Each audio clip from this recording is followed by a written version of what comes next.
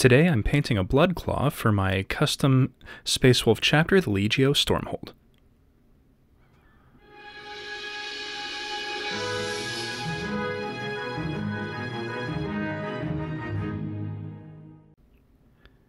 To start things off, I applied a base coat of Leadbelcher to the model, and I have based it with some cardstock to make some marble tiles and a little bit of mixed grit sand. We're going to start things off with a single coat of Mars Black, and this is going to go over the entirety of the base, uh, just to create a kind of dark marble uh, tile look. While that's drying, we're going to use some Blood Angels Red, and this is going to go over both of the shoulder pads to create a under layer that we're going to paint over a little bit later. And while we're at it, we can pick out a few details here and there around the model. Now because he's a Blood Claw, he has this little kind of uh, half knee pad. Uh, the other half will paint a different color in a little bit. Now using some Mars Black, we're going to pick out a couple of extra little details here and there around the model.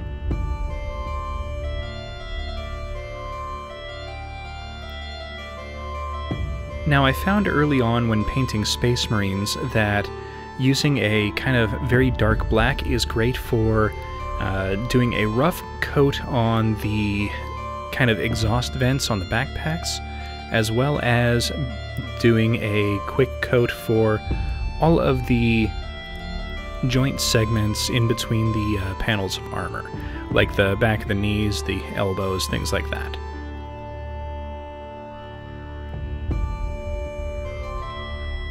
Now using the Mars Black, we're going to very carefully create my uh, custom chapter's logo, and that is a red and black checker mark across the shoulder pads.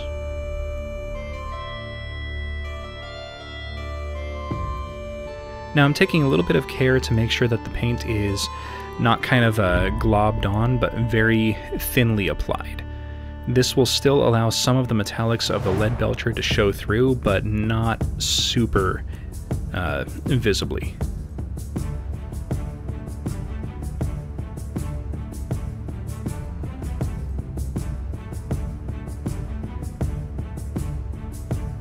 Now using some deep yellow, we're going to paint the other half of the knee pad to signify that he is indeed a blood claw. Now once this dries, we'll end up doing three coats on it just to make sure that it actually retains its color. Then we're going to use some burnt umber to paint over all of the mixed grit sand, and I'm also going to use it to paint the little fur tuft that's hanging off of the lower section of his leg.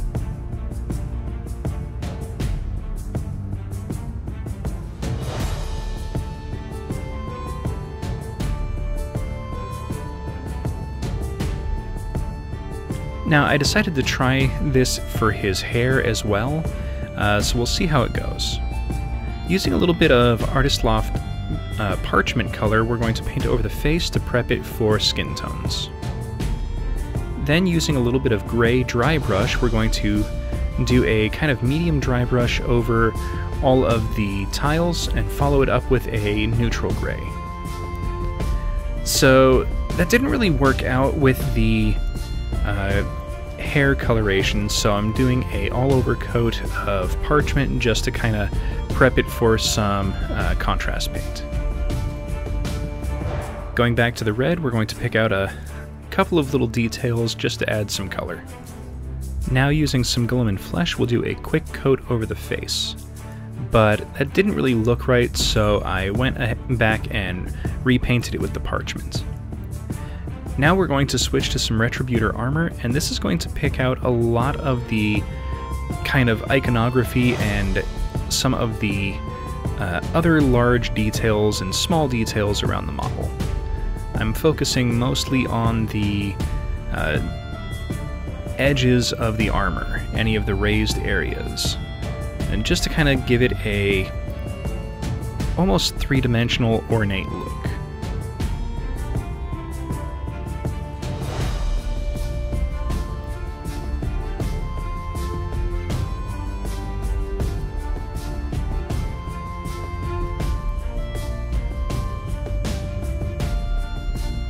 Once the armor itself is done, we're going to go ahead and do some detail painting on the weapons.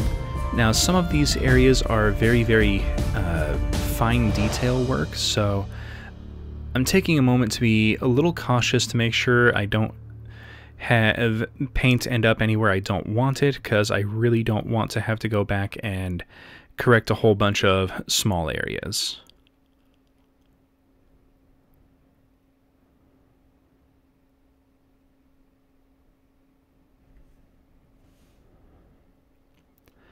Alright, so we're going to try again with the Guilliman Flesh here, and we're going to let that dry and see how it turns out. And a little bit of Gore-Grunta fur on the hair.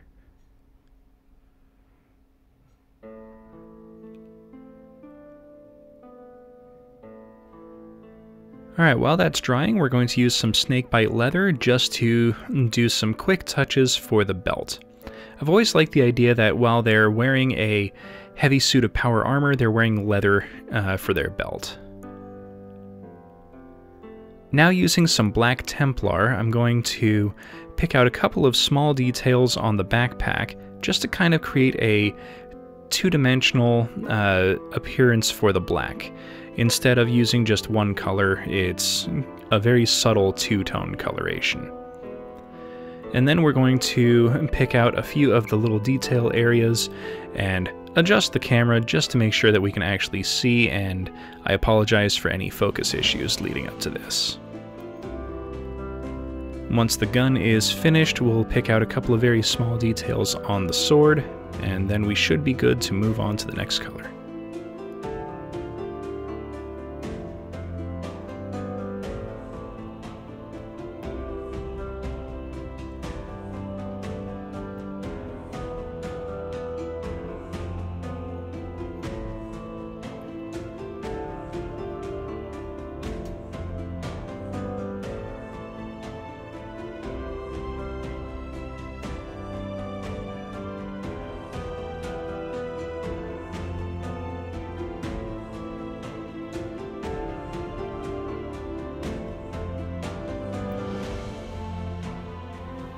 Alright, now we're going to use a little bit of bronze, and this is going to go over a couple of the areas that have been painted over with the Retributor armor.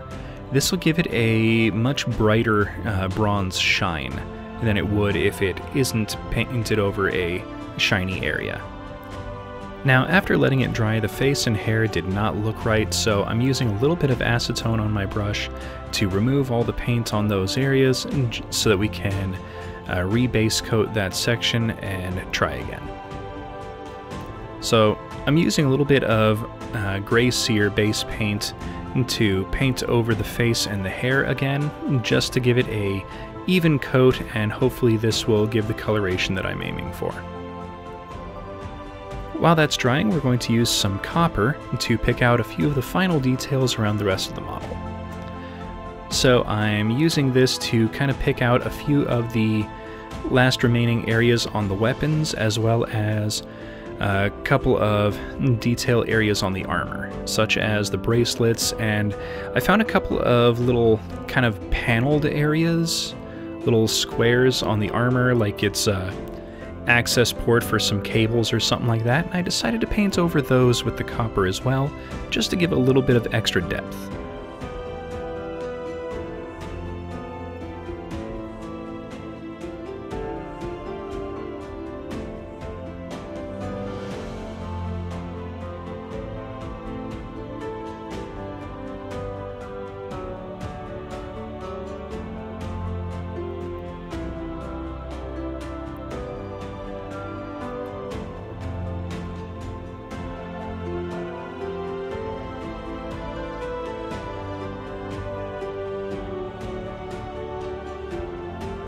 Now we're going to give one final try with Guilliman Flesh on the face.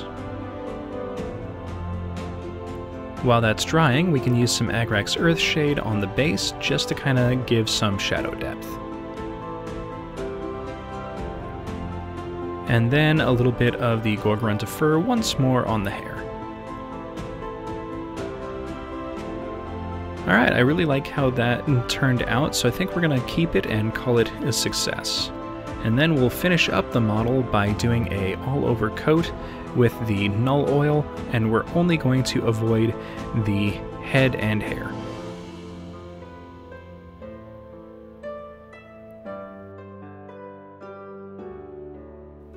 Alright, and here we are with the finished piece. I like how this turned out, and I'm looking forward to painting the rest of my army in the same color scheme.